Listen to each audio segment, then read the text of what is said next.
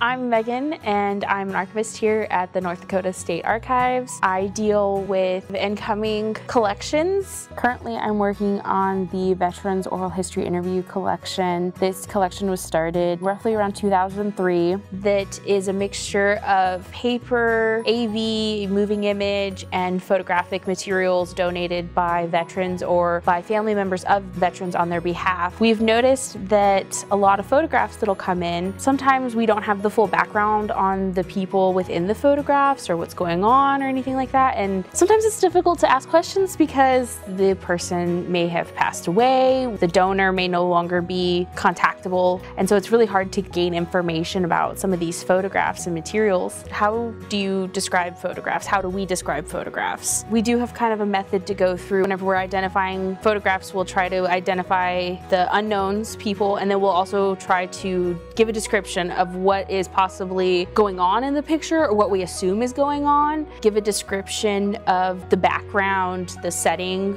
The photos in these collections were usually taken by service members or family members from the time and we don't have any background on where they are specifically, either because they didn't notate it on the photograph. Whenever I have a question about that, I get the image, I share it with my go-to expert to give me answers so that way I can give a more robust description. We do put photographs that we have that are unidentified that may be of interest and we'll um, share it on social media or we'll put it in a newsletter and we'll ask people like, hey, if you have any information, please call.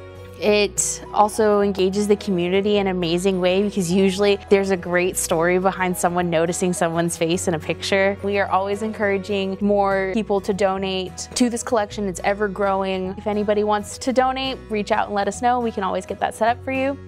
Find out more at history.nd.gov forward slash archives.